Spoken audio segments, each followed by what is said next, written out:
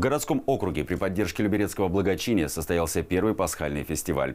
Организаторы подготовили для горожан несколько интерактивных площадок, где можно было пострелять из лука, сшить куклу или слепить на гончарном круге горшок. На фестивале побывала и наша съемочная группа.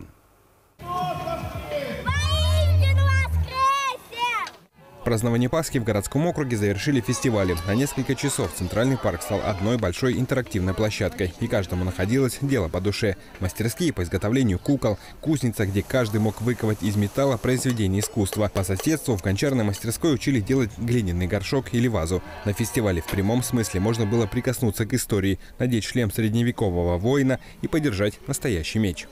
Вот это богатый княжеского уровня меч, а вот там меч чуть попроще.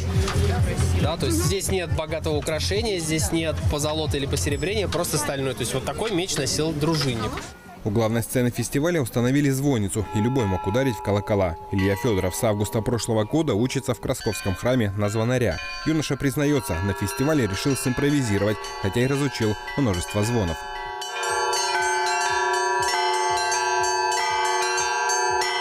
Суздальский звон есть, есть обы обычный звон. Но вообще рисунки, они как бы придумываются сами. Они очень мелодичны, очень красивый, хороший звук. Мне просто нравится играть.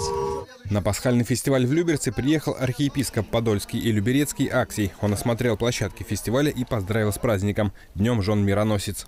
Дорогие сестры, а именно так в православной традиции принято обращаться к женщинам, Божьей помощи, мира, добра в семье, чтобы детки вас слушались, чтобы супруги ваши составляли единую, цельную, Богом установленную общность, муж и жена. И тогда в нашем мире будет больше счастья. Первый в истории городского округа Люберцы пасхальный фестиваль посетили несколько тысяч человек. Организаторы не исключают, что теперь он станет постоянным. Григорий Ворванин, Денис Заугольников, телеканал ЛРТ.